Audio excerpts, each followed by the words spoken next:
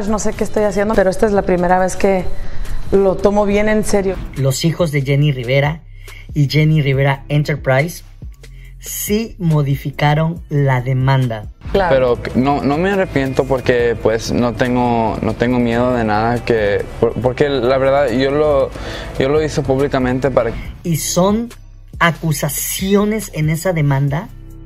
Esas acusaciones son es espeluznantes. Con el dinero de Jenny, sí, sí. Sí, de todos los, de los 10 millones, no sé, no sé cuántos me robé. Los hijos de Jenny Rivera interponen una querella modificada, evidenciando una trama de fraude y encubrimiento diseñada por Pedro Rivera, Juan y Rosy Rivera. ¿Qué implicaciones legales podría tener este inesperado desarrollo? Se cumplió el plazo para que los hijos de Jenny Rivera respondieron con una modificación a la querella que fue desestimada hace unos días atrás, y eso fue lo que sucedió, una modificación.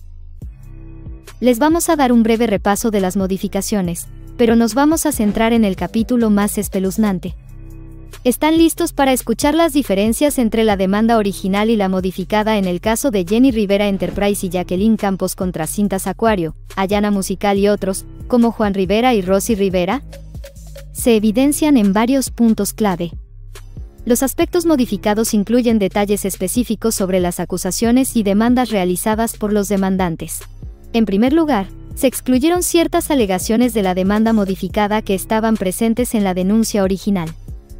Por ejemplo, se suprimieron algunas acusaciones vinculadas a prácticas comerciales específicas y derechos de propiedad intelectual. Además, se realizaron ajustes en la formulación de algunas alegaciones, centrándose en la especificidad de las acusaciones contra los demandados. Asimismo, se pone mayor énfasis en la prioridad de derechos de autor y marcas registradas en la denuncia modificada, detallando de manera específica las infracciones cometidas por los demandados se incorporan más detalles sobre cómo supuestamente infringieron esos derechos, como el uso no autorizado de la imagen y la música de Jenny Rivera. Se añaden precisiones sobre las acusaciones de fraude y encubrimiento por parte de los demandados, lo que puede involucrar la ocultación de ganancias y la manipulación de registros financieros. También, las acciones de los demandados, especialmente de la familia, se describen de manera más clara. Cuando escuchen, entenderán de qué manera los demandantes consideran fraudulentas o engañosas esas acciones. Se centra más detalladamente en los remedios legales solicitados, lo que puede incluir denuncias específicas por daños y perjuicios, así como medidas cautelares más definidas. Además, se podrían incluir solicitudes adicionales de restitución o compensación basadas en las nuevas alegaciones presentadas en la querella modificada.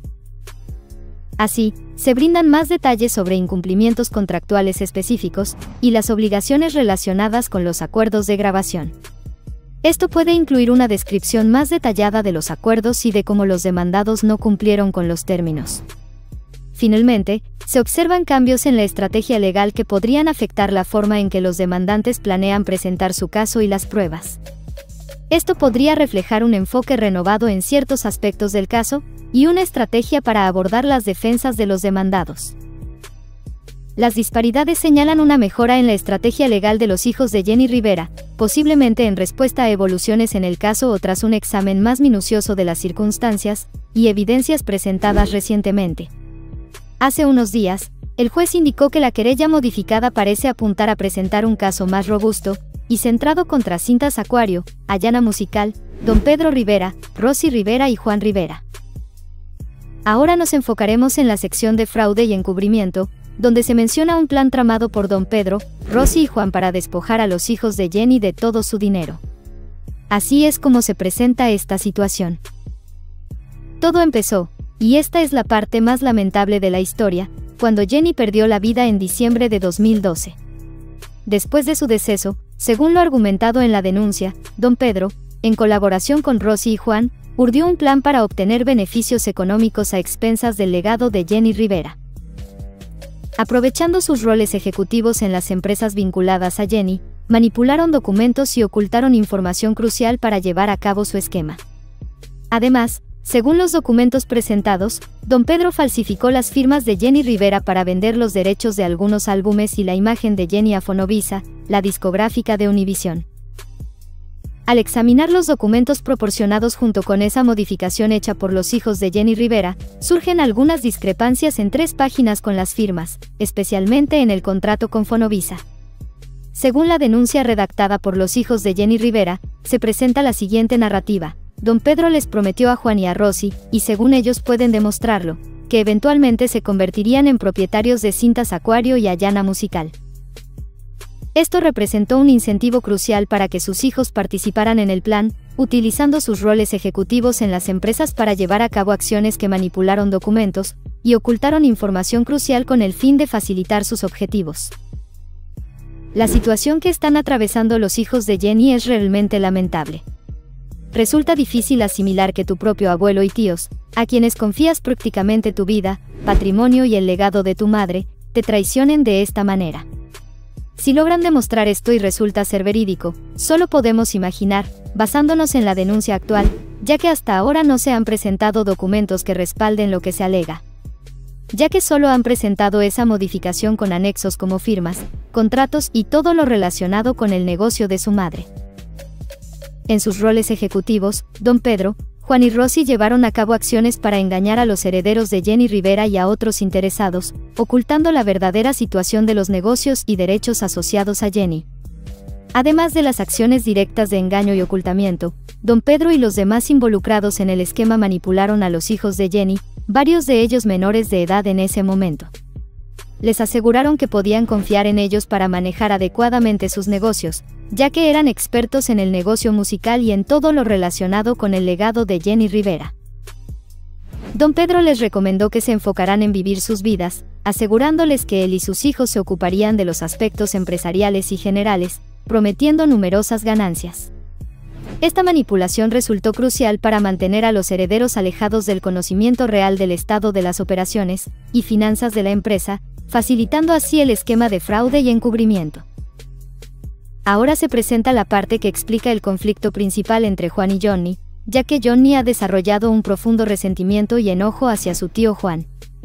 En el relato se menciona que Juan se refirió despectivamente a Johnny durante una conversación en 2013, según lo afirmado en la querella. En esa ocasión, Juan se refirió a Johnny, uno de los beneficiarios, de manera menospreciativa, indicando que, durante dicha conversación, Rosy y don Pedro, su padre, fueron mencionados. Juan expresó que los beneficiarios, es decir, los hijos de Jenny, incluyendo a Johnny, eran simplemente niños y no sabían lo suficiente sobre el negocio de la música y el entretenimiento para descubrir el esquema. Juan específicamente llamó a Johnny, insinuando que Johnny podría representar una amenaza para descubrir las actividades fraudulentas en el futuro debido a su agudeza y capacidad para entender la situación.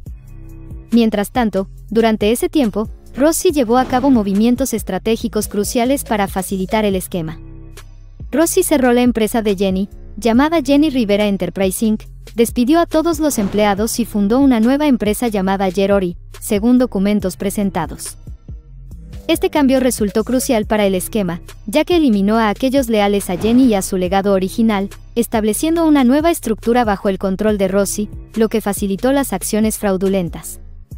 Rossi y Juan, al obtener el control total del legado de Jenny Rivera, sabían que los únicos que podrían oponerse a esto eran los hijos de Jenny, según la querella. Recuerden que se encuentran en el canal El Muro de la Fama. No duden en suscribirse y dar like a este video. Además, les invitamos a explorar nuestros otros videos para mantenerse siempre al tanto de lo que sucede en el mundo del espectáculo. Nos vemos en la próxima ocasión.